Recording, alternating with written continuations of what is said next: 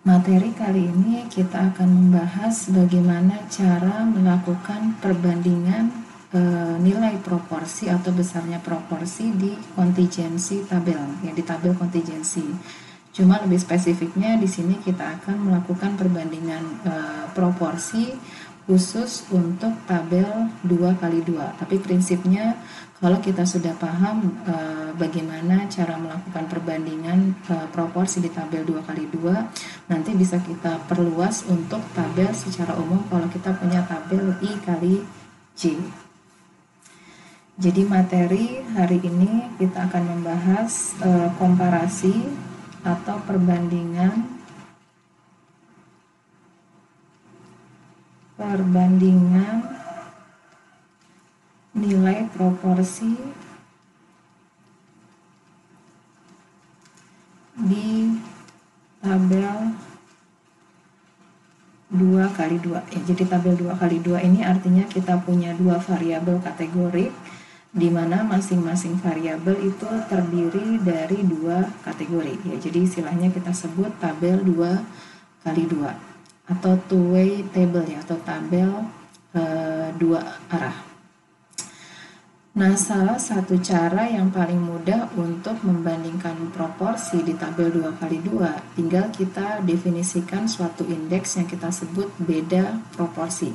Artinya kalau kita e, punya tabel 2 kali 2, misalkan di sini saya gambarkan tabel 2 kali 2 di mana e, variabel x dan y tentu dua-duanya merupakan variabel kategorik ya kategori uh, variabel x di sini saya tuliskan sebagai uh, baris ada kategori 1 dan 2 kemudian kita juga punya variabel y atau biasa disebut variabel respon ya. Variabel respon di sini juga kategorinya ada satu dan kategori uh, nah sekarang kalau kita pandang tabel 2 kali 2 ini sebagai uh, peluang atau probabilitas kondisional untuk setiap nilai x Ya, jadi sekarang kita pandang tabel 2 kali 2 ini untuk menghitung peluang e, kondisional untuk setiap kategori X1 dan 2. Artinya untuk setiap artinya untuk X sama dengan 1 berarti kita bisa menghitung besarnya e, peluang Y, katakanlah peluang Y sama dengan 1 besarnya adalah I1. Berarti besarnya peluang Y sama dengan 2 e, diberikan bahwa x nya sama dengan satu berarti ini kan sisanya. Satu dikurang i satu. Begitu juga diberikan kategori x sama dengan 2 berarti kita bisa menghitung peluang y sama dengan satu. Katakanlah ini e, kita sebut pi 2 berarti kalau diberikan x sama dengan 2 peluang y sama dengan 2 ini adalah sisanya berarti 1 minus i 2 jadi peluang yang kita hitung di tabel 2 kali 2 ini adalah peluang kondisional dari variabel Y diberikan untuk setiap kategori X. Untuk X-nya sama dengan 1 dan e, 2. Katakanlah variabel respon di sini misalkan e, karena ini adalah variabel binari dengan dua e, dua outcome berarti biasanya kalau kita punya binari katakanlah satu ini peluang e, sukses ya sedangkan dua ini adalah peluang e, gagal. Ya jadi kita asumsikan satu itu menyatakan keadaan e, atau e, kita sebut kejadian sukses sedangkan dua itu e, gagal. Nah salah satu indeks untuk membandingkan proporsi di tabel 2 kali 2 kita bisa mendefinisikan e, berdasarkan e, selisih antara proporsi untuk uh, proporsi sukses untuk kategori X sama dengan 1 dan kategori X sama dengan 2. Jadi di sini kita bisa menciptakan suatu indeks yang kita sebut beda proporsi di mana beda proporsi ini kita definisikan sebagai selisih ya atau uh, perbedaan peluang sukses antara kategori X sama dengan 1 dan X sama dengan 2. Berarti kita di sini tuliskan P1 dikurang P2. Ya, jadi P1 dikurang P2 ini dengan kata lain membandingkan peluang sukses di dua baris. Nah, kalau kita hitung beda proporsi antara P1 dan P2, kita tahu pasti selisih uh, antara uh, peluang sukses di kategori 1 dan 2 ini pasti besar nilainya di antara minus 1 dan 1 karena kan nilai P1 dan P2 itu kan peluang. Nilai peluang di mana peluang itu besarnya antara 0 dan uh, 1 nah seandainya kita punya uh, kita peroleh ternyata P1 dikurang P2 sama dengan 0 ya artinya kan ini tidak ada perbedaan ya. Artinya peluang sukses itu sama besarnya antara kategori X sama dengan 1 dan kategori X sama dengan 2. Kalau kita punya beda proper sama dengan 1, ya berarti dengan kata lain kita punya bahwa peluang sukses di kategori X sama dengan 1 itu bersama besarnya dengan peluang sukses di kategori X sama dengan uh, eh, 2. Nah, P1 dan P2 ini, ini kan adalah e, besarnya perbedaan proporsi yang kita amati di populasi ya di mana kita sebut P1 P2 P1 kurang P2 ini kita sebut parameter. Nah, ketika yang kita ambil adalah sampel, tentunya P1 dan P2 ini kan bisa kita estimasi ya.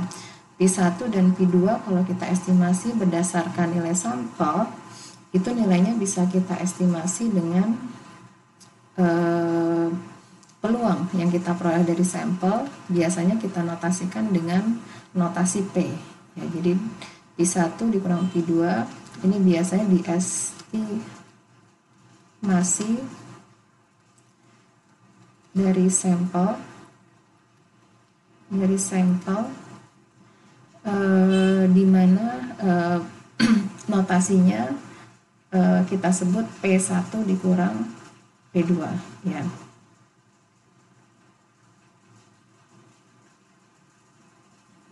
Ya.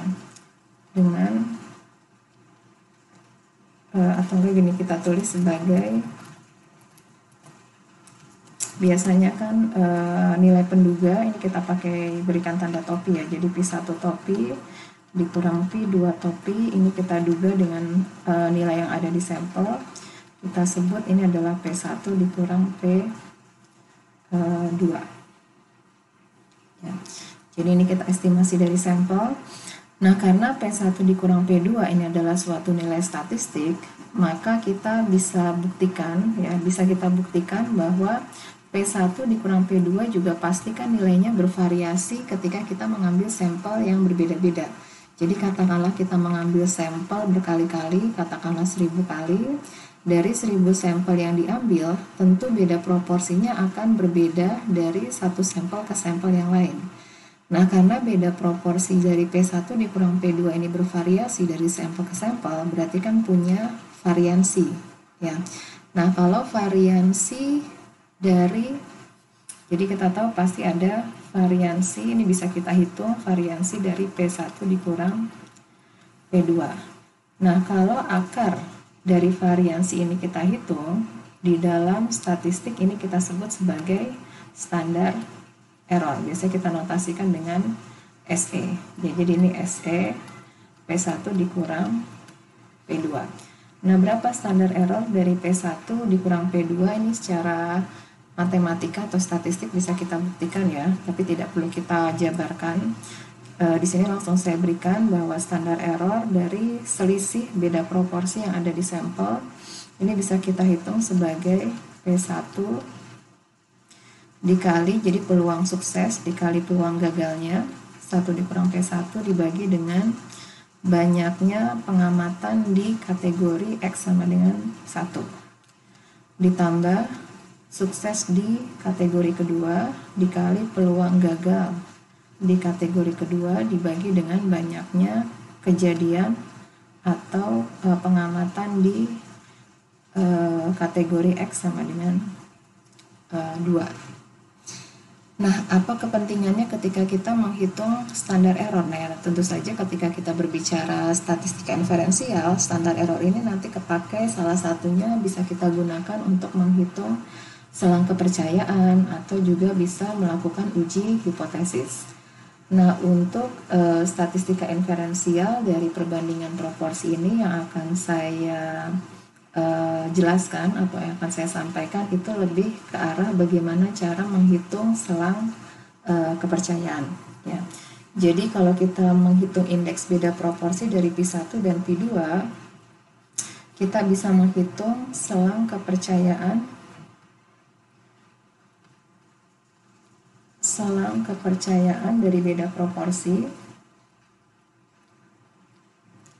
selang kepercayaan 1 minus alfa ya dari e, beda proporsi. Ini bisa kita hitung sebagai uh, P1 ya beda proporsinya P1 dikurang P2 plus minus ya karena uh, ini ada selang kepercayaan kan ada batas atas batas bawah uh, di sini biasanya kalau sampelnya cukup besar maka um, uh, ini bisa kita aproksimasi dengan distribusi normal.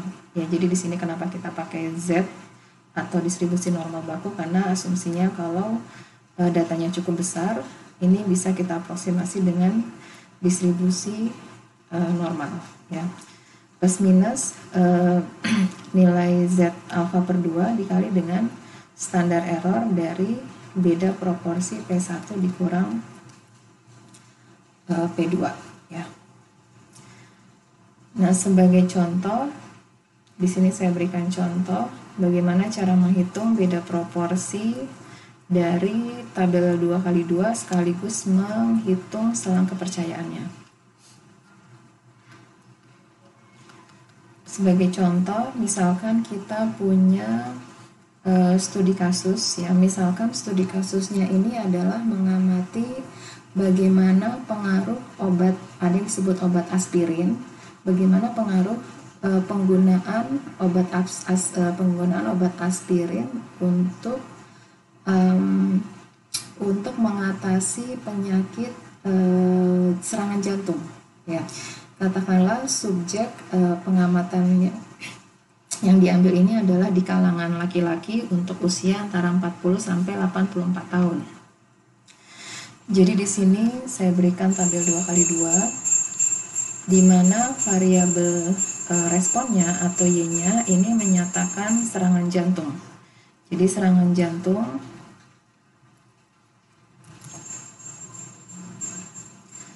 di sini uh, Y-nya menyatakan serangan jantung, kemudian uh, di sini serangan jantungnya berarti kategorinya ada yang mengalami serangan jantung atau iya dan tidak mengalami serangan jantung. Katakanlah ini saya beri label 1 ini adalah dua ya di mana Y-nya ini menyatakan e, kondisi apakah seseorang ini mengalami serangan jantung atau tidak. Nah, kemudian e, treatmentnya itu kan salah satunya tadi misalkan mengambil obat e, menggunakan obat aspirin. Bagaimana pengaruh obat aspirin terhadap eh, apakah seseorang itu akan mengalami serangan jantung atau tidak. Kemudian selain obat aspirin, biasanya kalau kita berbicara um, uh, studi kasus di dunia kesehatan, biasanya ketika kita mau menguji apakah obat ini berpengaruh atau tidak, biasanya selalu kita bandingkan dengan uh, dengan kelompok kontrol, di mana kelompok kontrolnya ini kita sebut kelompok placebo. Nah, apa ini kelompok uh, placebo? Kelompok placebo ini adalah kelompok yang tidak mendapatkan uh, treatment apa pun.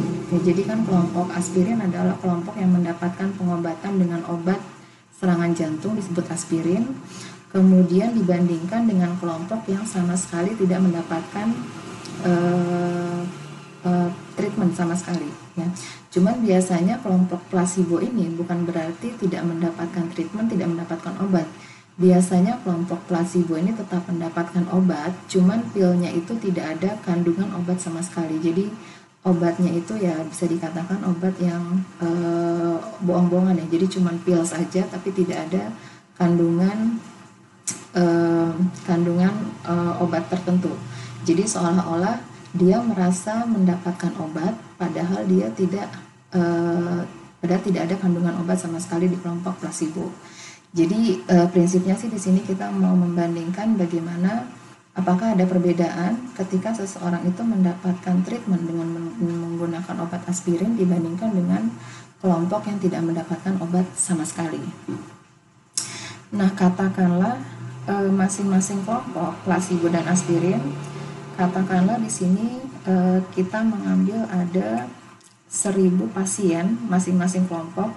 Jadi kelompok placebo di sini saya amati ada 1000 orang. Begitu juga eh, kelompok aspirin di sini ada 1000 orang. Nah, dari seribu orang yang masuk ke dalam kelompok placebo yang tidak mendapatkan obat, katakanlah ada 20 orang yang mengalami serangan jantung. Berarti sisanya adalah sebesar 980 eh, ya. Berarti sisanya adalah 980.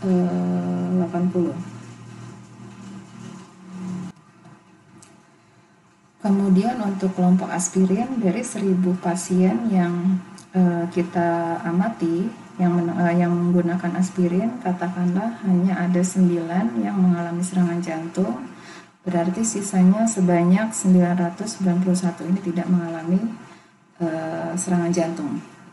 Nah, dari sini kita bisa menghitung ya, menghitung uh, besarnya uh, estimasi e, penduga besarnya proporsi yang mengalami serangan jantung untuk placebo katakanlah kita sebut P1 ini adalah peluang e, sukses ya atau peluang yang mengalami serangan jantung di placebo berarti ini adalah 20 per 1000 atau sama dengan 0,02 kemudian peluang sukses untuk kelompok aspirin atau yang mendapatkan serangan jantung berarti di sini sebesar 9 per 1000 atau 0,009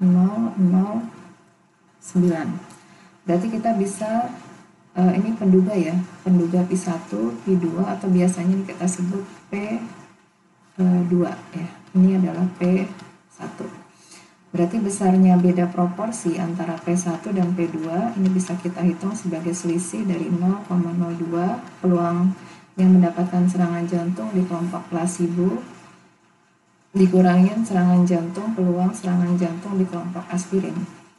0,09 berarti ini nilainya sebesar eh, 0,02 dikurangi 0,009 berarti ini 0,01 eh, satu ya. Nah sekarang kita coba hitung bagaimana selang kepercayaan untuk beda proporsi ini. Tadi kita tahu eh, selang kepercayaan misalkan selang kepercayaannya yang mau kita hitung adalah di sini saya singkat SK itu selang kepercayaan kita pakai selang kepercayaan 95% dari P1 dikurang P2 tadi rumusnya sudah kita uh, tuliskan. Ini adalah beda proporsi P1 dikurang P2 di uh, plus minus ya. Plus minus dari nilai tabel Z untuk uh, alfanya berarti 5% berarti ini adalah uh, eh, 0,025 dikali standar error dari P1 dikurang P2 kita sudah menghitung selisih dari beda beda proporsi kan ini 0,011 kemudian untuk tabel Z di mana alfanya itu untuk proporsinya 2,5 persen ini kan sebesar 1,96 kemudian eh, standar errornya ini kan bisa kita hitung sebagai akar dari P1 di mana P1 itu kan 0,02 dikali peluang gagalnya 1 dikurang 0,02 dibagi banyaknya kejadian atau banyaknya pasien di kelompok placebo ini adalah 1000 ditambah peluang dua atau peluang e, serangan jantung kelompok aspirin ini kan adalah 0,009 dikali peluang gagalnya atau yang tidak mengalami serangan jantung dibagi 1000 ya. Nah, dari sini bisa kita hitung e, bisa dihitung saya langsung tuliskan aja ya uh, selang kepercayaannya ini selang kepercayaannya itu kalau kita hitung hasilnya adalah 0,0005 untuk batas bawah kemudian batas atasnya adalah 0,02 ya. Nah bisa kita lihat selang kepercayaan dari uh, kelompok as eh, placebo dikurangi kelompok aspirin. Di sini kan selang kepercayaannya itu lebih besar dari nol ya. Jadi selang kepercayaannya lebih besar dari nol. Ya jadi artinya P1 kalau dikurangi P2 ini selang kepercayaannya lebih besar dari nol maka ini secara tidak langsung bisa kita tuliskan bahwa P1 ini lebih besar dari P2 uh, ya Nah, apa maknanya ketika selang kepercayaan tidak memuat nilai nol? Maka dari sini bisa kita interpretasikan bahwa insiden rate atau e, kejadian untuk serangan jantung itu e, jauh lebih rendah untuk kelompok orang yang mendapatkan aspirin dibandingkan e, placebo. Ya, jadi kan e, indikasi dari selang kepercayaan yang tidak memuat nilai nol, implikasinya kan kita tahu bahwa P1 lebih besar dari e, P2. Ya. Jadi artinya kelompok yang mendapatkan e, placebo atau yang tidak mendapatkan obat itu e, proporsi atau kejadian mendapatkan serangan jantung itu lebih tinggi dibandingkan uh, kelompok yang mendapatkan obat aspirin. Berarti dengan kata lain, mendapatkan atau mengkonsumsi aspirin itu mengurangi resiko serangan uh, jantung. Ya, jadi bisa kita tafsirkan. Di sini saya tuliskan ya. Saya tuliskan bahwa kesimpulannya apa? Karena selang kepercayaan tidak memuat nol, tidak memuat nol, maka bisa kita uh, maka bisa disimpulkan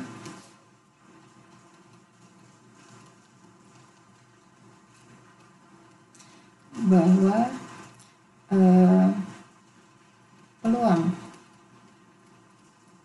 mendapatkan serangan jantung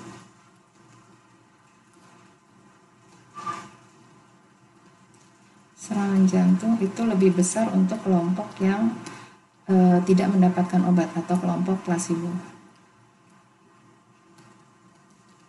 Lebih besar secara signifikan ya untuk kelompok kelompok yang tidak mendapatkan obat atau kelompok placebo.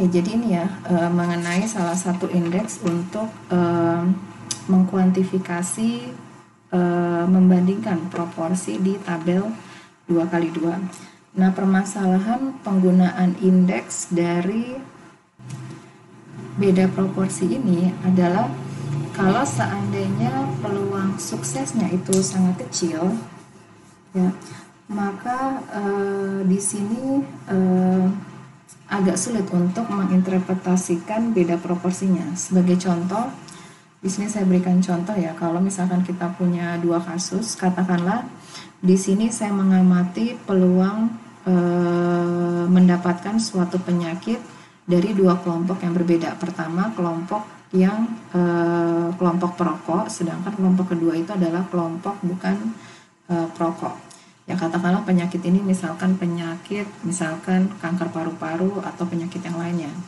Jadi sebagai contoh misalkan peluang di sini peluang peluang mendapatkan suatu penyakit dari kelompok perokok dan bukan perokok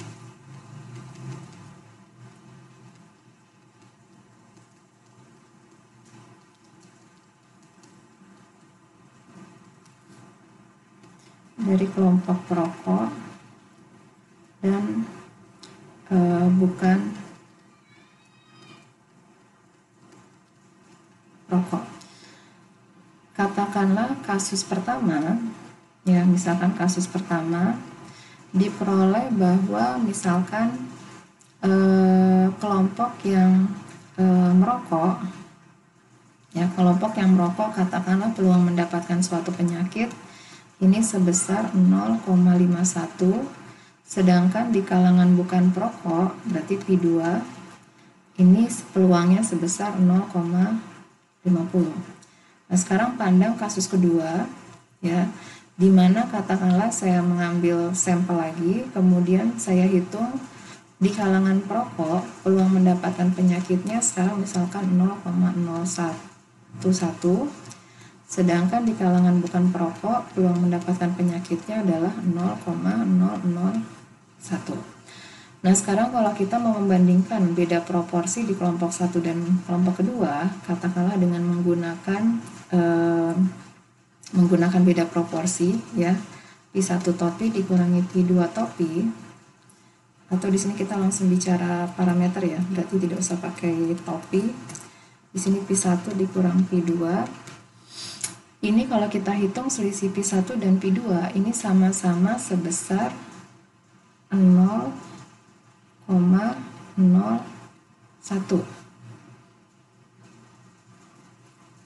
ya jadi kalau kita uh, hitung ya beda proporsi dari dua kasus yang berbeda itu memberikan beda proporsi yang sama.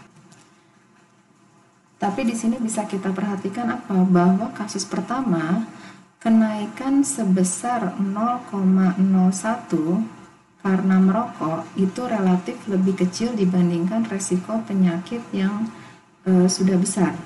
Sedangkan pada kasus kedua, ya di kalangan perokok itu kan bisa kita lihat bahwa e, untuk orang-orang yang merokok itu 11 kali lipat berpotensi untuk mendapatkan penyakit dibandingkan bukan yang perokok.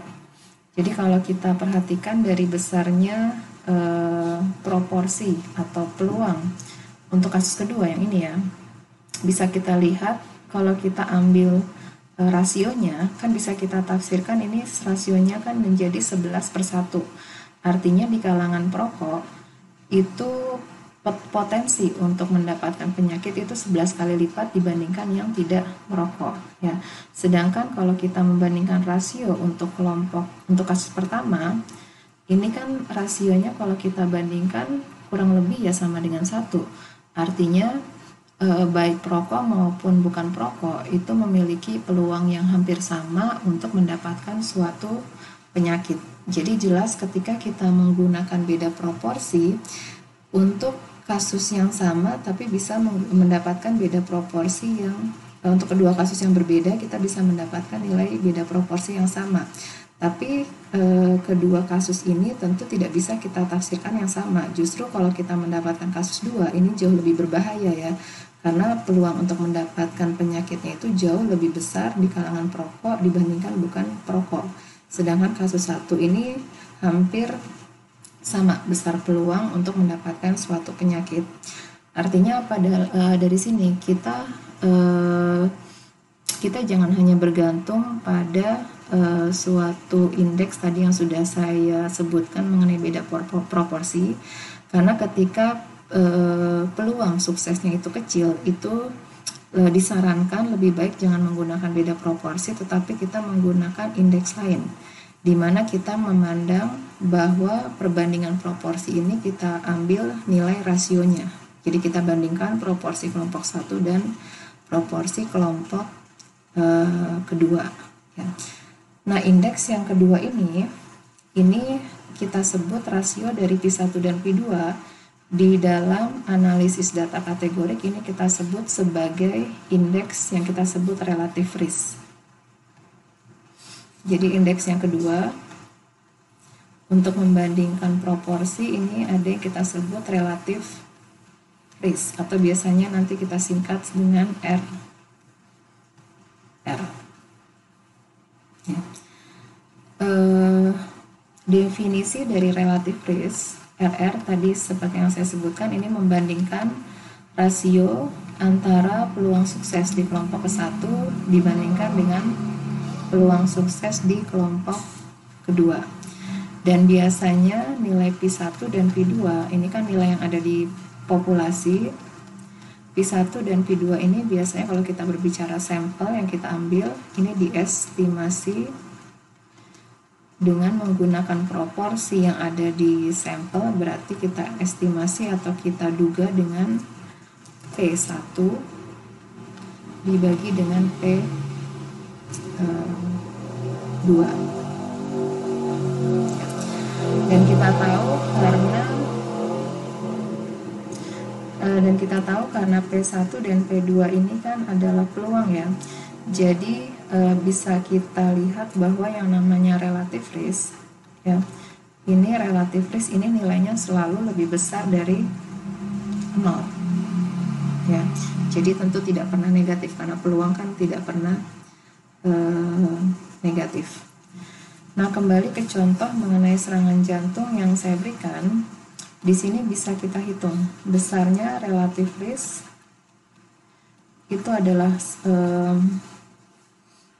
peluang serangan jantung di kelompok placebo P1 dibandingkan peluang kelompok uh, aspirin. Jadi kita sudah hitung P1 itu nilainya 0,02 sedangkan di kelompok sedangkan di kelompok aspirin ini peluangnya 0,009 berarti relatif risknya adalah 2,2 uh, 22 ya. Maknanya apa relatif risk di sini? Ya bisa kita lihat bahwa uh, peluang untuk mendapatkan serangan jantung itu dua kali lipat lebih besar untuk kelompok placebo dibandingkan kelompok uh, aspirin. Ya. Jadi di sini kalau kita tafsirkan berarti peluang mendapatkan serangan jantung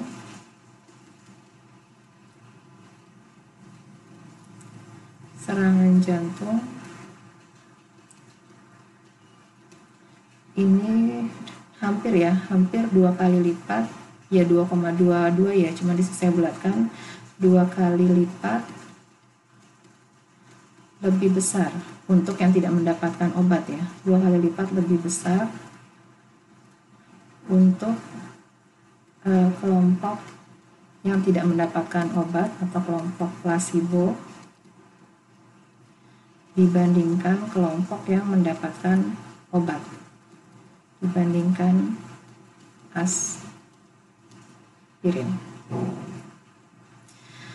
Nah, kita sudah menghitung bagaimana cara menghitung indeks relatif risk. Sekarang sama seperti beda proporsi, kita coba menghitung selang kepercayaannya. Nah, bagaimana menghitung selang kepercayaan? Ya, sekali lagi di sini kita harus tahu bagaimana distribusi sampling dari relatif risk. Nah, di sini saya berikan catatan bahwa e, bisa kita buktikan bahwa distribusi sampling dari e, dari uh, relatif risk atau rasio antara P1 dan P2 itu tidak normal, tapi lebih cenderung dia skew ya atau miring. Tidak normal. Artinya ketika kita mau membuat selang kepercayaan, kita tidak bisa menggunakan aproksimasi dari distribusi normal, ya karena distribusi sampling dari kedua rasio ini tidak normal. Tapi bisa kita buktikan bahwa distribusi sampling ketika relatif risk ini kita ambil dalam bentuk logaritma P1 atau P2 dia akan berdistribusi normal. Jadi idenya di sini adalah kita coba buat selang kepercayaan dalam bentuk logaritma dari relatif risk karena logaritma yang kita kenakan pada relatif risk ini berdistribusi uh, normal. Nah dari sini bisa kita turunkan bahwa standar error dari e, logaritma relatif risk logaritma dari P1 dibagi P2 ini bisa kita tuliskan sebagai akar dari 1 minus P1 dibagi N1 kali P1 di mana N1 itu banyaknya eh, pengamatan di kelompok 1 ya P1 sedangkan P1 adalah peluang sukses di kelompok 1 ditambah 1 minus P2 dibagi N2 dikali P 2. Nah, berarti dari sini karena sudah bisa kita sudah uh, bisa kita turunkan standar errornya, berarti selang kepercayaan uh, 1 minus alfa dari logaritma relatif risk ya logaritma P1 eh, P1 dibagi P2 ini bisa kita tuliskan sebagai logaritma dari P1 dibagi P2 plus minus dikali Z alfa per 2 dikali standar error dari logaritma P1 dibagi P2 Katakanlah uh, selang kepercayaan ini bisa kita tuliskan sebagai batas atas atau saya sebut L ini dari lower, batas uh, batas bawah ya, batas bawah lower, batas atasnya saya sebut sebagai upper. Berarti kalau kita sudah dapat selang kepercayaan dari logaritma relatif risk, ini bisa kita kembalikan ke uh, ke skala awal karena kan yang menjadi fokus dari uh, selang kepercayaan yang mau kita lihat kan bukan logaritma tapi uh, relatif risk itu sendiri. Berarti selang kepercayaan 1 minus alfa dari uh, P1 bagi P2 ya kalau kita mau mentransformasikan kembali supaya tidak mengandung logaritma berarti harus kita cari nilai eksponennya ya. Jadi ini adalah kita tinggal mengeksponenkan uh, E pangkat L E pangkat U jadi ini sebuah kepercayaan untuk uh, relatif risknya sebagai contoh kita coba hitung uh, selang kepercayaan relatif risk untuk uh, contoh serangan jantung yang tadi ya. Jadi tadi uh, tadi kita sudah hitung ya. Relatif risknya adalah uh, sebesar ini ya 2,22 ya. 2,22 berarti sekarang kalau kita membuat selang kepercayaan kita harus mencari uh, nilai logaritmanya dulu ya. Logaritma dari 2,22 itu bisa kita hitung uh, logaritma di sini. Berarti logaritma 2,22 itu hasilnya adalah 0,79 uh, 7 ya atau saya bulatkan aja eh 0,797 berarti kalau kita hitung Nah, sekarang kita kembali ke contoh selang kepercayaan kita ambil alfanya 5% dari contoh serangan jantung tadi e, pertama kita harus membuat selang kepercayaan dalam bentuk logaritma P1 per P2 ya. Di mana tadi kita harus menghitung logaritmanya dulu ya. Logaritma dari P1 e, di sini saya tuliskan logaritma dari P dari P ya. Logaritma P1 dibagi P2 berarti ini kan adalah logaritma dari 2,22 ini hasilnya 0,79 eh, saya buatkan aja 0,79 atau 0,797 tadi ya. Berarti selang kepercayaannya adalah 0,797 plus minus Z alfa per 2 berarti kan alfanya 5% ini 1,96 dikali dengan dikali dengan standar errornya berarti ini adalah akar uh, eh, 1 dikurangi 0,02 dibagi 1000 dikali 0,02 ditambah 1 dikurang 0,009 dibagi 1000 dikali 0,009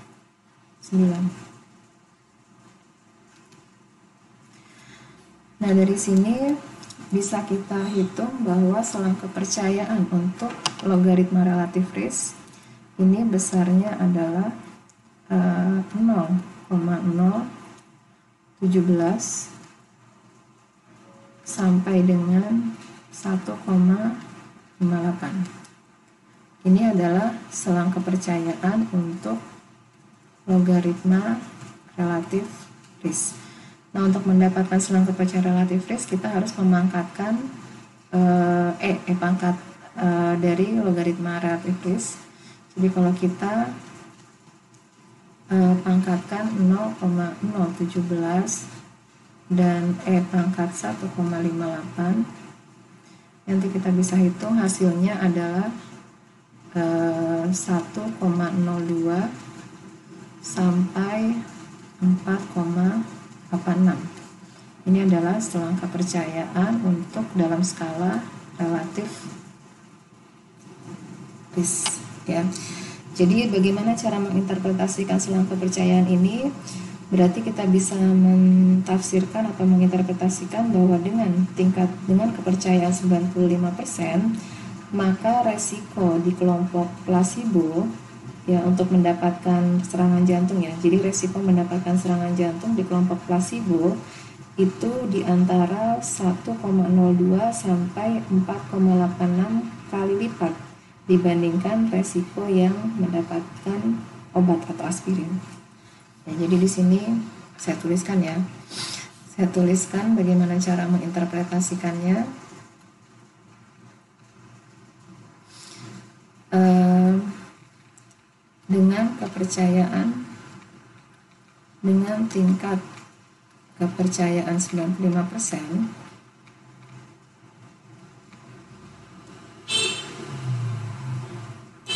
ini maka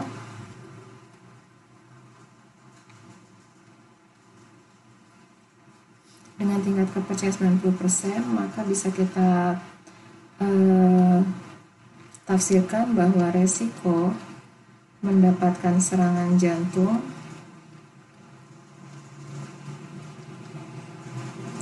serangan jantung atau peluang ya peluang atau resiko serangan jantung untuk kelompok placebo untuk kelompok placebo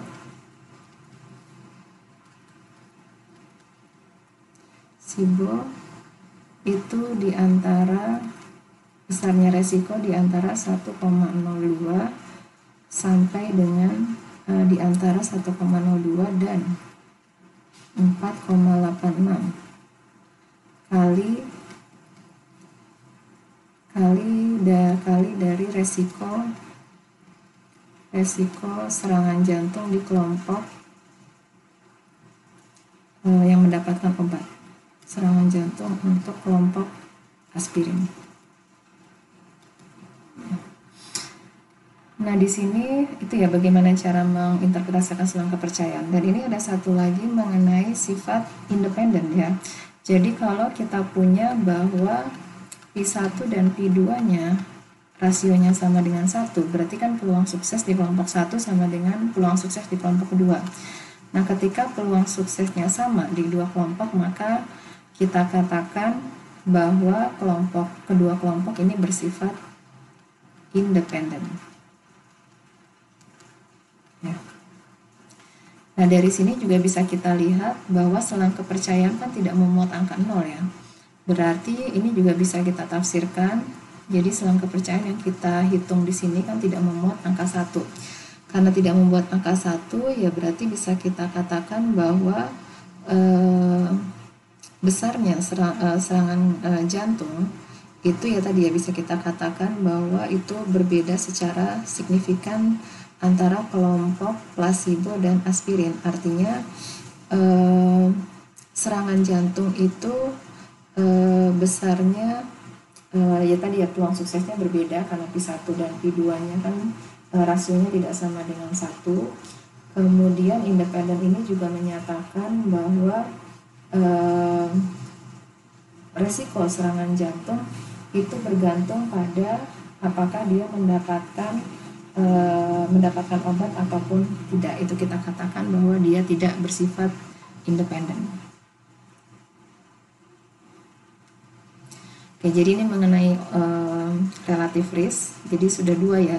Indeks pertama kita hanya melihat sebagai selisih dari dua peluang sukses. Kemudian indeks yang kedua adalah relatif risk di mana kita membandingkan uh, proporsi antara dua mengambil rasio rasio dua proporsi antara dua kelompok.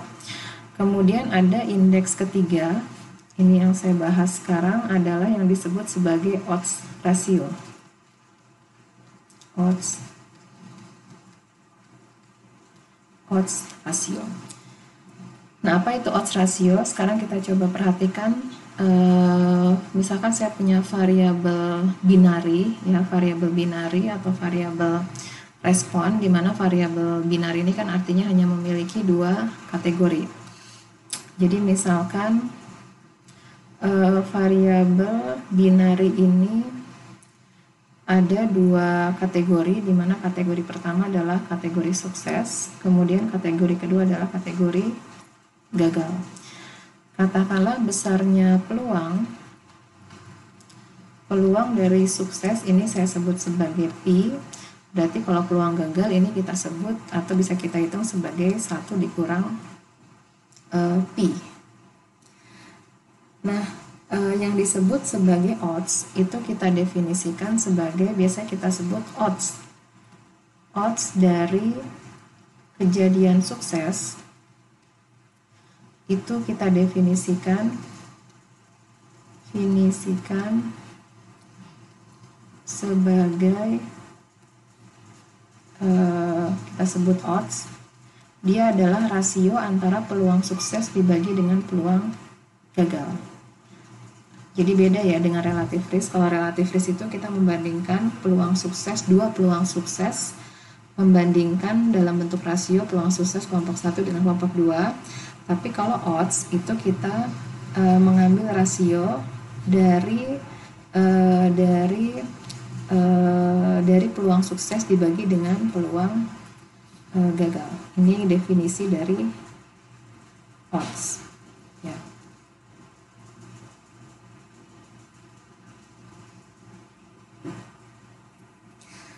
uh, sebagai contoh, misalkan kita punya peluang suksesnya sebesar 0,75. Ya, misalkan kita punya peluang sukses sebesar 0,75, berarti dari sini kita bisa menghitung peluang suksesnya 0,75, kita bisa menghitung berapa besarnya odds. Besarnya odds ini kan adalah peluang sukses 0,75 dibagi peluang gagal.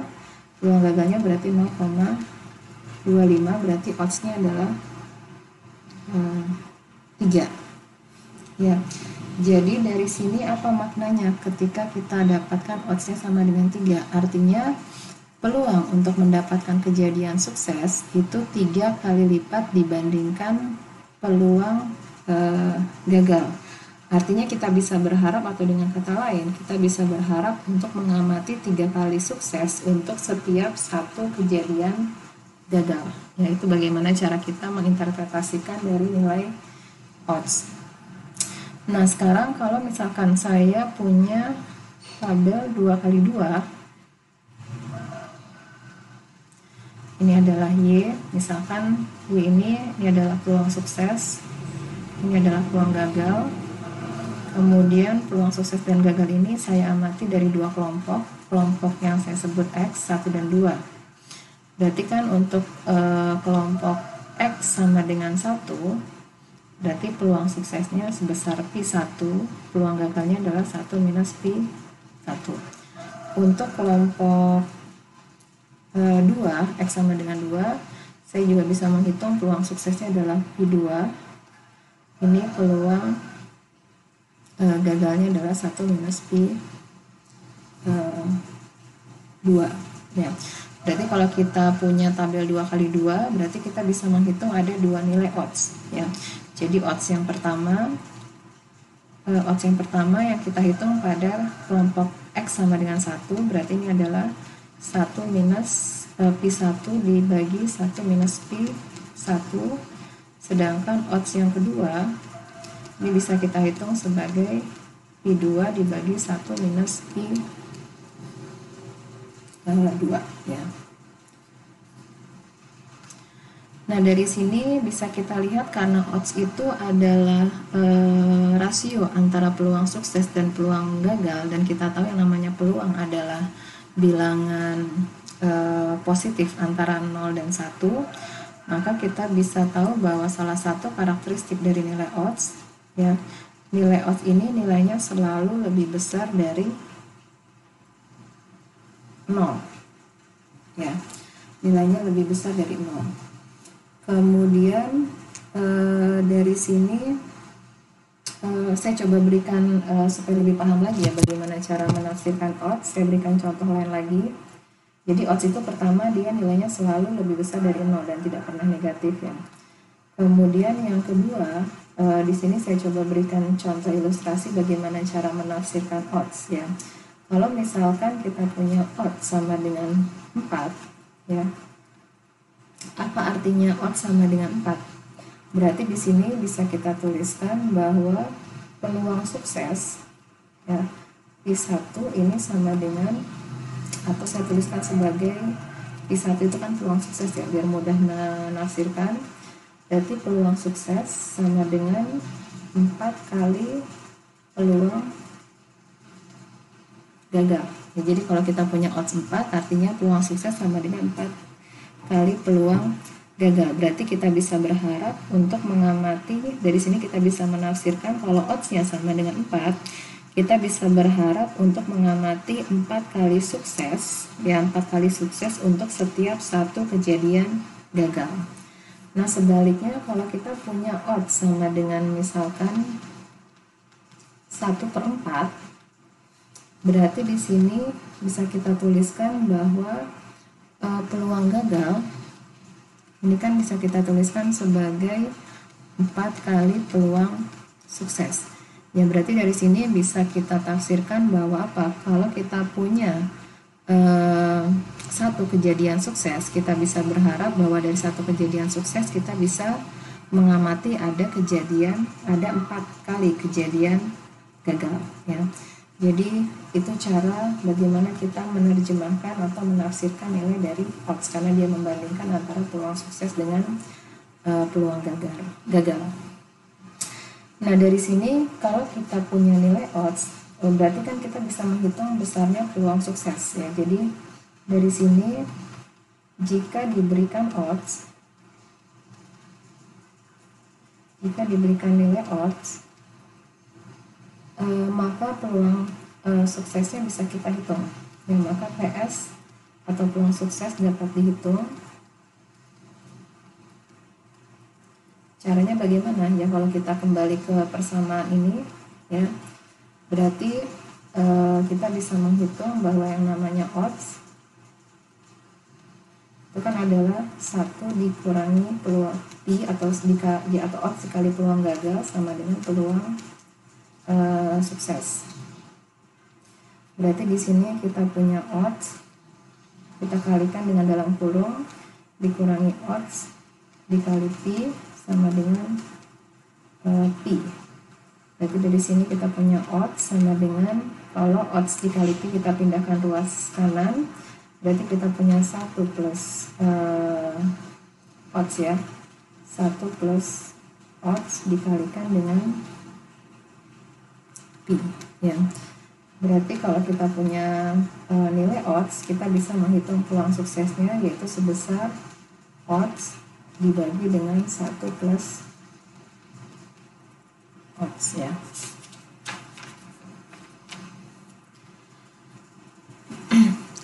Nah kembali ke contoh uh, kembali dari sini ya. Kembali ke tabel yang saya berikan di sini tabel 2 kali 2 ya tabel dua kali dua yang ini. Ya. Ketika kita punya uh, odds yang kita hitung pada dua kelompok yang berbeda kalau kita ambil rasio antara odds untuk kelompok satu dan kelompok dua ya di mana di sini saya tuliskan uh, jadi kalau kita kembali ke tabel dua kali dua kan kita punya dua nilai odds. Ketika dua nilai odds ini kita bandingkan sebagai rasio maka itu kita punya indeks baru yang kita sebut sebagai odds ratio. Ya, jadi rasio antara uh, dua odds di tabel 2 kali 2 tabel 2 kali 2 ya ini rasionya ini biasanya kita notasikan dengan theta berarti ini artinya kita menghitung odds 1 dibagi dengan odds 2 berarti ini apa? Odds 1 kan besarnya peluang kejadian atau peluang di kelompok pertama dibagi eh, peluang gagal di kelompok pertama. Sedangkan odds 2 adalah odds di baris kedua yaitu besarnya peluang sukses di kelompok kedua dibagi peluang gagal di di kelompok kedua ya.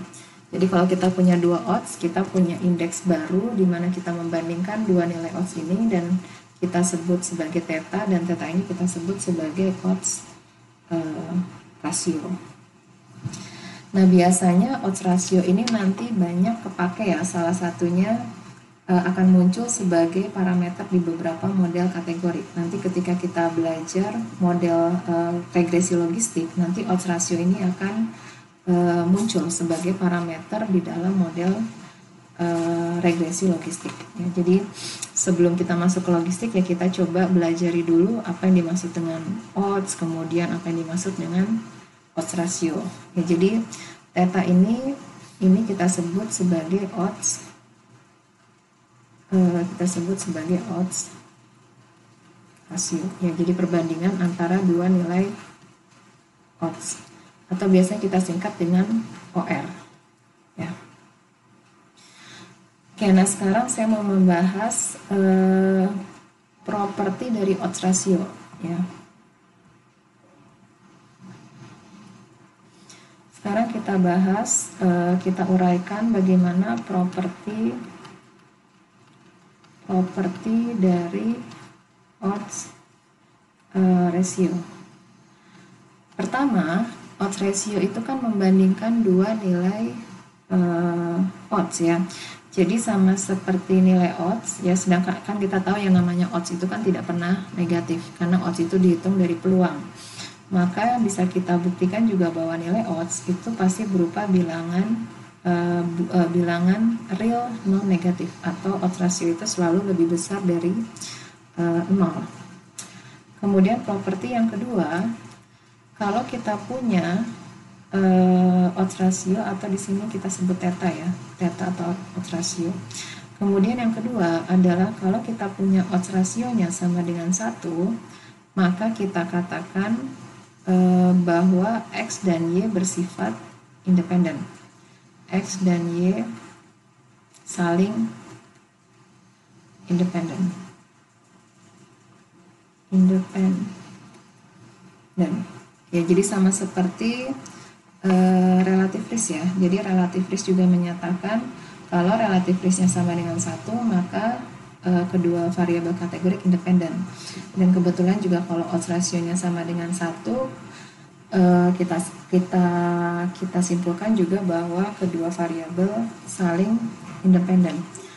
Uh, kenapa bisa kita katakan independen? Ya karena kalau tetanya sama dengan uh, satu ya pasti nilai peluang sukses di kelompok pertama itu sama dengan uh, peluang sukses di kelompok ke uh, dua ya.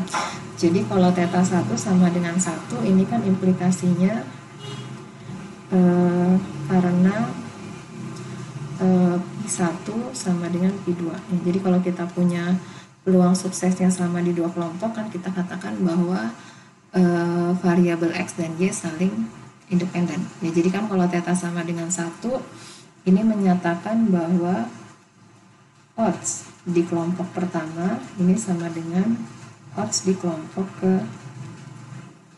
dua ya jadi kalau datanya sama dengan satu. Oke kemudian properti yang ketiga. Ya kalau tetanya semakin besar uh, atau odds ratio-nya semakin besar maka uh, bisa kita tafsirkan bahwa e, nilai theta yang semakin besar ini akan menunjukkan asosiasi yang semakin kuat aso aso atau hubungan, asosiasi atau hubungan, asosiasi yang semakin erat atau semakin kuat. Ya contohnya misalkan tadi ya, eh, saya kembali ke atas di sini. Contohnya misalkan kita ambil odds rasionya sama dengan 4. Kalau 4 berarti kan kita katakan bahwa eh, oh maaf bukan oddsnya 4 ya. Kita kan berbicara odds rasio ya. Jadi kalau odds rasionya di sini saya berikan contoh. Oh belum saya berikan contoh ya. Odds rasio uh, ya mungkin nanti ke contoh yang serangan jantung ya. Jadi ketika odds rasionya itu lebih besar uh, lebih besar semakin besar ya. Semakin besar uh, semakin menjauhi dari uh, satu itu kita katakan bahwa asosiasinya di sini saya lupa menambahkan ini lebih besarnya lebih besar dari satu ya jadi ketika odds rasionya semakin besar atau lebih besar dari satu itu e, menunjukkan bahwa hubungan antara x dan y-nya itu semakin e, kuat ya. Kemudian properti yang berikutnya ya nanti saya coba nanti kita ilustrasikan ya odds rasio ini kalau kita hitung dari yang e, tabel dua kali dua yang setengah jantung tadi ya dan juga nanti bagaimana cara menafsirkannya sebagai odds ratio. Kemudian yang e, properti berikutnya, kalau kita punya tabel 2 kali 2, jika barisnya kita tukar, artinya misalkan X sama dengan 1, itu kan ada pada baris pertama, X2 ada baris kedua. Kalau kok barisnya kita tukar, misalkan X sama dengan 2, kita e, masukkan di baris pertama sedangkan X sama dengan satu itu kita masukkan di baris e, kedua maka itu sebenarnya tidak merubah makna ya. Hanya saja ketika kita menghitung odds rasionya odds rasionya itu menjadi e, kebalikannya. Ya jadi jika baris bukan hanya baris tapi kolom ya bisa juga kolom. Jika baris atau kolom ditukar di tabel 2 kali 2 maka odds rasio yang semula kita hitung sebagai theta maka ketika barisnya kita tukar ini odds rasionya bisa kita hitung sebagai satu per uh, theta ya. jadi sebagai contoh uh, misalkan uh, kita punya uh, odds rasio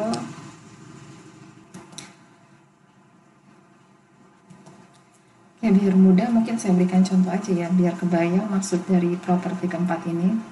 Jadi sebagai contoh uh, ini saya tidak menggunakan serangan jantung, uh, saya pakai contoh yang lain. Misalkan saya punya dua kelompok, kelompok satu dan dua, kemudian ini yang sukses dan gagal. Masing-masing kelompok katakanlah kelompok satu peluang suksesnya adalah 0,8 kemudian uh, peluang uh, peluang, peluang, uh, peluang suksesnya 0,8 berarti gagalnya adalah 0,2 katakanlah kelompok 2 peluang suksesnya adalah 0,1 sedangkan uh, peluang gagalnya berarti 0,9 ya. Dari sini bisa kita hitung bahwa odds untuk kelompok pertama ini kan berarti rasio antara sukses dan gagal berarti 0,8 bagi 0,2 dua besarnya adalah 4 ya artinya kita bisa berharap bahwa dari uh, kita bisa berharap ada empat kali sukses dari kejadian satu kali gagal.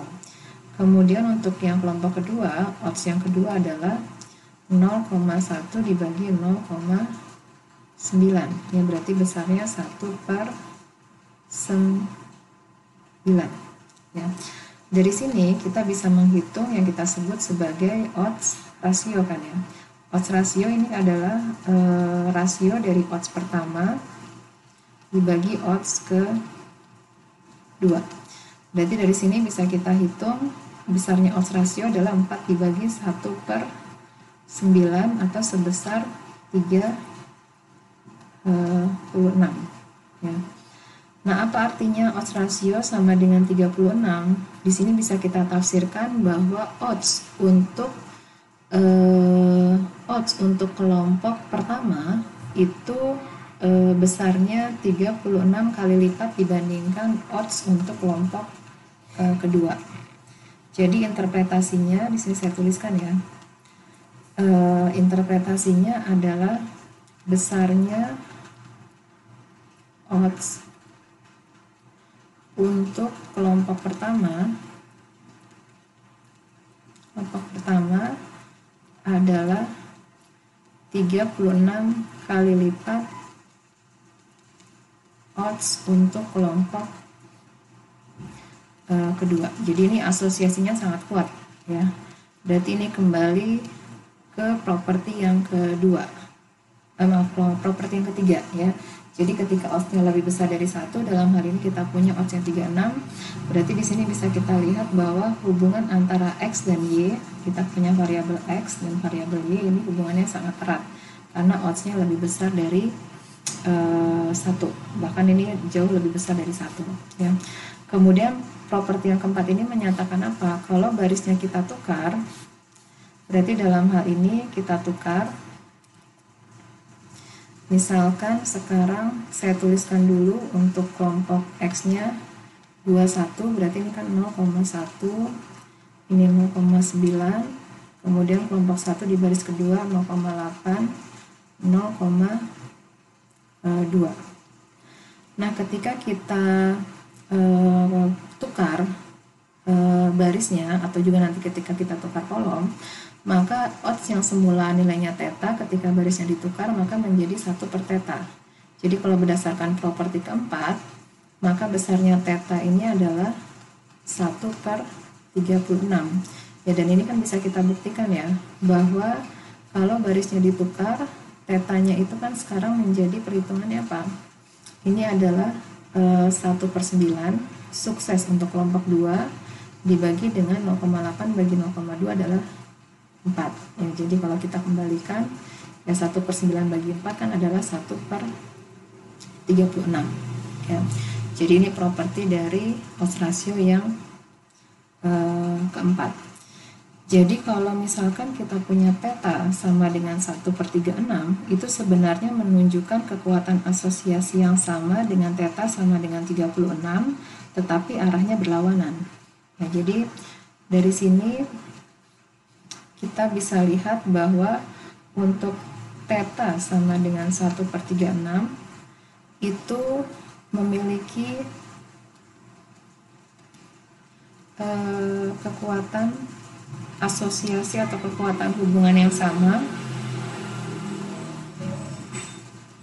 Kekuatan asosiasi yang sama dengan theta sama dengan 36 hanya saja arahnya berlawanan. Ya sama seperti korelasi ya. Kalau kita punya korelasi 0,5 sama korelasi minus 0,5 itu kan kekuatan hubungannya sama. Hanya saja yang satu hubungannya negatif sedangkan yang satunya eh, satu negatif satu positif. Tapi kalau kita berbicara odds ratio kebalikan dari nilai odds ratio dalam hal ini 36 sama odds ratio 1 per 36 itu kekuatan asosiasinya sama hanya saja mereka berbeda itu dalam arah hubungannya ya. Jadi tapi dengan arah yang berbeda.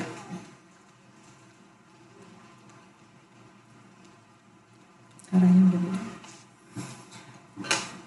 Oke nah sekarang kita tahu bahwa ini bisa kita buktikan juga secara matematika atau secara statistik ya sama seperti relatif risk. Relatif risk itu kan e, tadi sempat saya sebutkan bahwa distribusi samplingnya itu tidak normal. Jadi kita tidak bisa menggunakan aproksimasi distribusi normal untuk membuat selang kepercayaan ataupun ketika menguji hipotesis.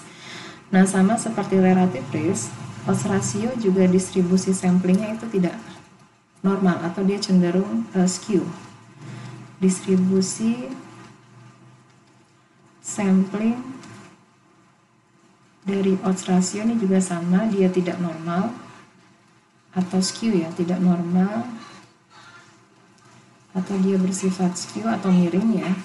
Tapi ketika kita e, menambahkan fungsi e, logaritma ya sama seperti odds ratio kalau kita memberikan fungsi logaritma pada odds ratio maka distribusi sampingnya itu akan menjadi uh, normal Nah sekarang tadi kita sudah membahas uh, properti dari odds ratio. Sekarang saya akan membahas bagaimana properti dari odds ratio yang kita kenakan dengan fungsi logaritma. Properti dari logaritma odds ratio. Nah pertama uh, karena dia adalah uh, logaritma ya logaritmanya itu juga kita mengenakan logaritma pada bilangan positif, real positif tentu yang namanya logaritma pasti lebih besar dari uh, nol. Ya, jadi log dari odds ratio itu pasti lebih besar dari nol. Ini properti yang pertama. Kemudian uh, kalau tadi kita menyatakan bahwa x dan y itu kan independen ya. X dan y itu independen jika theta sama dengan satu Berarti kalau kita e, transformasi ke dalam logaritma, maka e, kita katakan x dan y itu saling independen kalau logaritma dari tetanya sama dengan e, 0 ya. Jadi x dan y ini kita katakan independen. Tadi kan ketika tetanya sama dengan satu. Kalau misalkan kita kenakan satu dengan fungsi logaritma, logaritma dari satu nilainya berapa? Logaritma dari satu sama dengan 0 ya. Maka logaritma dari theta ini sama dengan satu ya karena kan ini ekuivalen dengan tetanya sama dengan uh, Kemudian merujuk ke properti keempat dari uh, odds ratio. Di sini kan propertinya kalau barisnya ditukar ya, maka yang semula theta menjadi satu per theta odds rasionya. Nah, bagaimana kalau kondisinya dalam bentuk logaritma? Jika baris atau kolomnya kita tukar, kolom ditukar, ditukar di tabel 2 kali 2 maka uh, kita punya uh, karena kita berbicara dalam uh, skala logaritma theta berarti kan kita punya uh, logaritma kita kenakan pada satu per theta logaritma satu per theta maka ini sama dengan minus log uh, theta Kemudian properti yang berikutnya adalah e, logaritma theta ya, odds yang kita kenakan logaritma ini akan simetris di e, di nilai e, 1 ya. Di nilai theta sama dengan e, 1. Contohnya misalkan kita punya tetanya sama dengan e, 2 maka kalau kita hitung logaritma dari teta ini nilainya sama dengan 0,7 kemudian e, kita tahu kalau baris atau kolomnya kita tukar berarti kan kita punya tetanya 1 per 2 ya. Kalau kita tuliskan dalam bentuk logaritma dari teta maka ini nilainya menjadi minus 0,7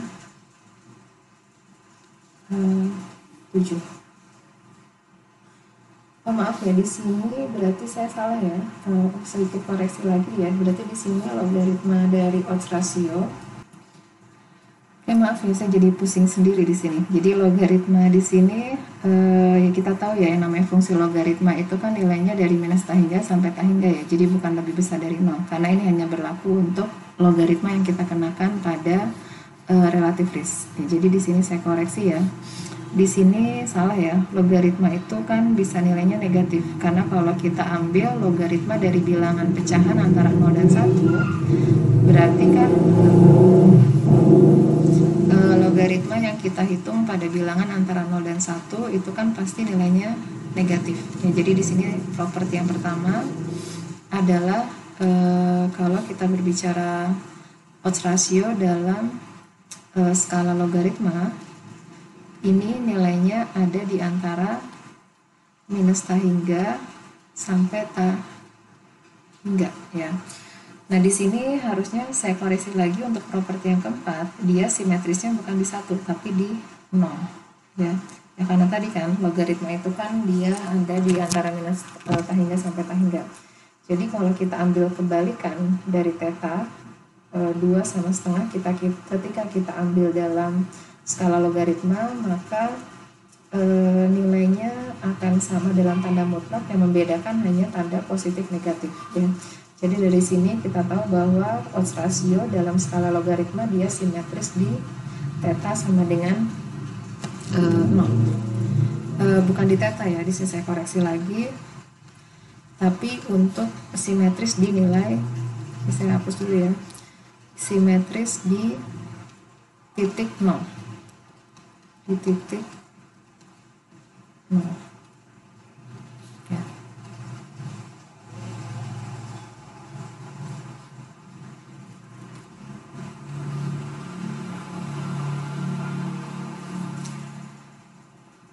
Oke ini ya, jadi ini properti dari uh, logaritma odds ratio. Nah sekarang uh, untuk membuat selang kepercayaan dari odds ratio kita membutuhkan standar error ya. Nah, karena kita tahu yang mengaproksimasi eh, logaritma dari odds ratio ini kan eh, mendekati distribusi normal, ya. Berarti dari sini sekarang kita coba turunkan, ya tidak akan kita buktikan, di sini akan saya tuliskan standar error yang kita hitung adalah pada skala logaritma, karena yang logaritma dari odds ratio ini yang berdistribusi normal. Ini bisa kita buktikan bahwa standar errornya ini besarnya adalah 1 per N11 1 per N12 ditambah 1 per N21 ditambah 1 per N22 jadi NIJ ini adalah besarnya pengamatan untuk setiap sel yang ada di tabel 2 kali 2 jadi besarnya sukses kelompok 1 besar e, banyaknya sukses kelompok 1 banyaknya gagal kelompok 1 kemudian juga banyaknya sukses kelompok 2 dan banyaknya gagal kelompok e, dua ya. e, dari sini sekarang bisa kita e, hitung ya besarnya selang kepercayaan selang kepercayaan 1 minus e, alfa tentunya kita sekarang membahas e, selang kepercayaan untuk e, logaritma. Karena yang logaritma ini yang berdistribusi normal. Selang kepercayaan untuk logaritma odds ratio di sini bisa kita tuliskan sebagai uh, logaritma dari odds ratio plus minus z alpha per 2 dikali standar error dari log odds ratio. Katakanlah selang kepercayaannya ini batas bawahnya kita sebut L, batas atasnya kita sebut U. Maka kalau kita mau menurunkan atau menghitung selang kepercayaan untuk skala ratio, skala untuk odds ratio, tinggal kita ambil pangkatnya saja. E pangkat L untuk e, batas bawah, kemudian E pangkat U untuk batas atas. Um, Nah dari sini eh, nanti bisa dihitung ya, nanti bisa dihitung sendiri. Untuk kasus yang serangan jantung 95% selang kepercayaan selang kepercayaan 90 per 50 eh, persen untuk ya sebelum kita menghitung selang kepercayaan odds ratio kita harus menghitung selang kepercayaan untuk logaritmanya dulu untuk yang serangan jantung tadi Eh, berarti kan kita harus menghitung besarnya logaritma odds ratio. Kita tadi sudah uh, menghitung belum ya odds ratio untuk uh, serangan jantung belum kita hitung ya. Di sini baru saya contohkan untuk contoh yang berbeda. Ya, tidak apa-apa di sini kita coba hitung lagi ya.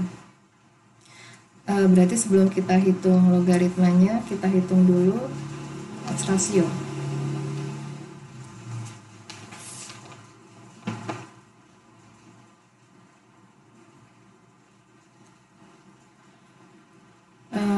Rasio untuk kasus yang serangan jantung Berarti di sini kan kita harus menghitung odds yang pertama dibagi odds yang uh, kedua. Odds yang uh, kedua. Uh, sebelum kita menghitung, saya lupa ya memberikan penjelasan ada alternatif lain bagaimana cara menghitung odds uh, rasio ya. Jadi misalkan kita punya tabel 2 kali 2 ini kelompok 1, kelompok 2, ini sukses, ini gagal. Ini kan kita punya banyak yang pengamatan sukses, banyak pengamatan gagal untuk kelompok 1. Ini N21 sukses kelompok 2 dan N22 banyaknya gagal kelompok uh, 2. Kita tahu bahwa theta kita estimasi dengan theta topi ini kan besarnya peluang sukses kelompok pertama dibagi peluang gagal kelompok pertama. Ini odds yang kelompok pertama. Dibagi odds kelompok kedua, berarti kan ini P2 dibagi 1 minus P2. Uh, kita tahu bahwa menghitung P1, P1 itu kan kita hitung sebagai uh, N11 dibagi uh, M1 plus ya. Jadi kalau kita hitung uh, banyaknya kejadian untuk kelompok 1 ini kan kita sebut N1 plus, ini adalah N2 plus. Ya N11 dibagi N1 plus dikali gagal itu berarti kita hitung sebagai N12 dibagi N1 plus. Kemudian P2 dengan cara yang sama ini kan banyaknya sukses berarti N21 dibagi banyaknya kejadian di kelompok 2 berarti N2 plus dikali N22 dibagi N2 plus ya.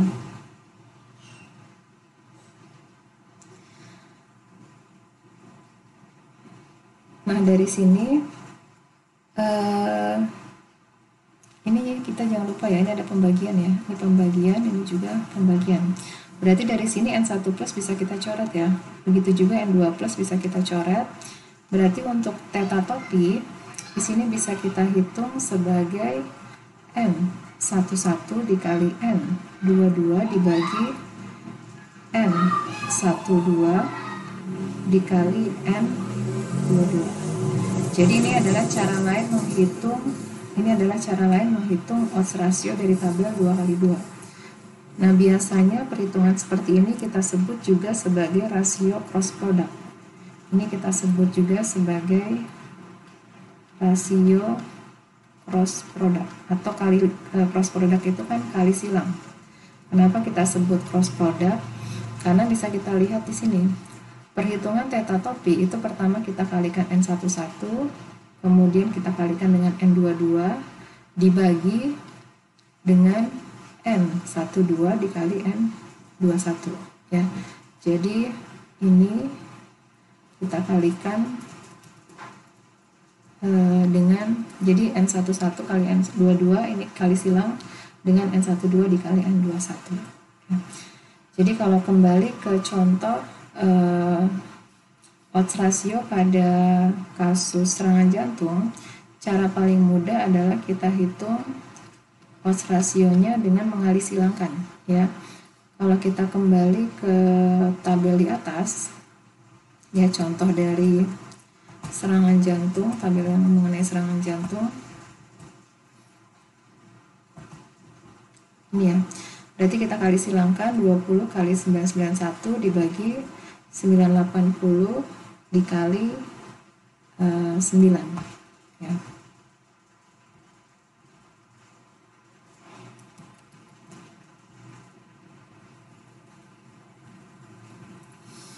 Berarti di sini odds rasionya adalah 20 kita kalikan 991 dibagi uh, 9 dikali 980 ya kalau kita hitung kurang lebih hasilnya adalah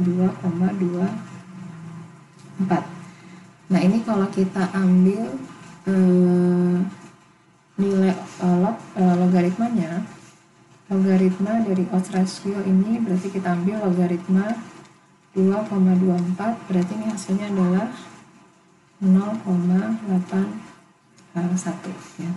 Jadi odds ratio ini nilainya 2,24 sekali lagi kita coba tafsirkan artinya apa bahwa odds untuk mendapatkan serangan jantung itu kurang lebih dua kali lipat lebih besar untuk kelompok placebo yang tidak mendapatkan obat dibandingkan dengan kelompok yang mendapatkan obat. Ya. Nah kembali menghitung selang kepercayaan Berarti di sini bisa kita hitung selang kepercayaannya kita hitungkan sebagai log odds ratio berarti 0,81 plus minus 1,96 dikali standar errornya ini kan yang perkalian 1 per M 11 ditambah 1 per M 12 atau langsung kita masukkan aja ya nilainya N11 1 per 20 ditambah 1 per 991 ditambah 1 per 9 tambah 1 per 980 dari sini kalau kita hitung selang kepercayaan untuk log odds rasio itu sebesar 0,015 sampai dengan 0, eh, bukan 0, ya tapi 1,598 ini selang kepercayaan untuk uh, odds rasio. Sekarang kalau selang kepercayaan 95% untuk odds rasio itu sendiri berarti tinggal kita ambil nilai eksponen dari bilangan ini. Berarti uh, kita ambil eksponen dari 0,015 eksponen 1,598 ini hasilnya adalah 1,02 sampai dengan 4,94 ya. Oke, nah di sini bisa kita tafsirkan apa? Ya sama seperti relatif risk ya. Jadi dengan tingkat kepercayaan 95%, maka kita yakin bahwa e, besarnya e, odds untuk kelompok odds untuk mendapatkan e, serangan jantung itu e, berada di antara 1,02 sampai dengan 4,94 kali lipat lebih besar dibandingkan untuk kelompok yang aspirin. Jadi kalau kita tafsirkan di sini dengan keyakinan 95%, keyakinan 95% atau kepercayaan 95%, eh, maka bisa kita simpulkan bahwa uh, odds serangan jantung odds serangan jantung atau odds uh, karena uh, odds suksesnya dalam hal ini kan mendapatkan serangan jantung ya. Odds serangan jantung itu uh, untuk kelompok untuk kelompok placebo ya untuk kelompok placebo.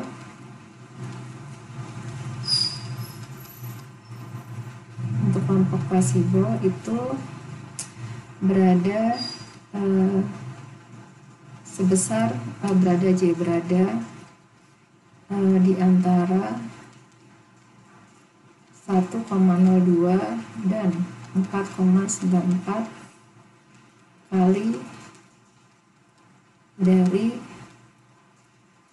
odds uh, untuk kelompok yang mendapatkan obat untuk kelompok aspirin. Ya. Cara lain menafsirkannya adalah di sini kita tahu ya bahwa odds ratio itu bersifat independen kalau nilai odds rasionya sebesar satu ya. Dan kita tahu selang kepercayaan 95% ini kan tidak memuat satu. Tidak memuat memuat odds ratio atau tidak memuat theta sama dengan satu maka bisa kita simpulkan bahwa X dan Y itu bersifat tidak independen. Tidak independen di sini artinya eh, dalam hal ini artinya eh, kejadian mendapatkan serangan jantung itu bergantung berdasarkan apakah dia mendapatkan eh, obat ataupun mendap tidak mendapatkan obat. Ya itu kita katakan bersifat tidak independen. Nah, jadi ini ya tiga indeks semoga bisa dipahami ya uh, uh, antara beda proporsi kemudian relatif risk sama odds ratio. Biasanya yang odds ratio ini yang agak uh, kebanyakan orang itu agak sedikit sulit untuk menafsirkannya. Ya, tapi kan kalau kita lihat dari definisinya yang namanya odds ratio itu kan hanyalah perbandingan ya antara dua odds. Berarti kalau kita tafsirkan yang namanya odds ratio yaitu adalah jadi kalau kita punya odds ratio sebesar uh, artinya bahwa odds untuk sukses di kelompok pertama itu dua kali lipat dibandingkan odds di kelompok uh, uh, kelompok kedua. Ya, jadi odds kelompok pertama itu besarnya dua kali lipat dibandingkan odds kelompok kedua. Nah biasanya orang yang salah menafsirkan itu adalah menafsirkan odds ratio sebagai peluang ya. Jadi ketika oddsnya dua jangan ditafsirkan bahwa besarnya peluang sukses itu dua kali lipat itu jelas salah ya karena kan definisi odds sendiri itu bukan hanya sebagai peluang sukses tapi adalah rasio antara peluang sukses dibandingkan dengan peluang uh, gagal ya. Nah sekarang saya mau melihat bagaimana hubungan antara odds ratio sama relative risk hubungan odds ratio dan relative risk. Ya. Jadi kalau misalkan kita punya odds ratio sama dengan misalkan 1,83 ini jangan kita tafsirkan jelas salah ya. Jangan ditafsirkan bahwa peluang sukses itu sama dengan 1,83 peluang sukses di kelompok kedua. Ini jelas salah ya. Jadi jangan kita tafsirkan seperti ini. Yang benar adalah kalau odds rasio 1,83 artinya odds di kelompok ke-1 ini besarnya adalah 1,83 dari odds untuk peluang sukses di kelompok ke uh. Ya. Nah, bagaimana hubungan uh, odds rasio dengan relatif risk ini? Kita tahu bahwa odds rasio itu kan bisa kita tuliskan sebagai peluang sukses dibagi peluang gagal dibagi untuk kelompok kedua peluang sukses kelompok kedua dibagi peluang gagal kelompok kedua.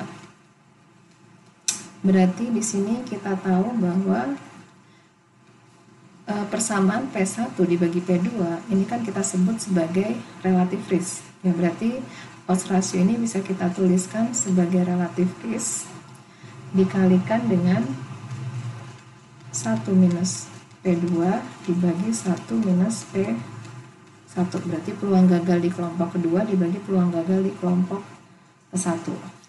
Nah sekarang kita perhatikan dari kedua hubungan ini ketika P1 dan P2 nya itu mendekati 0 ya jadi ketika kita perhatikan eh, jika P1 nya mendekati 0 dan P2 nya mendekati 0 maka apa yang terjadi dengan persamaan ini Berarti kalau P1 dan P2 mendekati 0 berarti rasionya menjadi 1 ya. Maka bisa kita lihat bahwa odds rasionya ini akan sama dengan akan kurang lebih sama dengan relatif uh, risk. Ya. Jadi ini hubungan yang bisa kita kaitkan antara odds ratio dan relatif risk.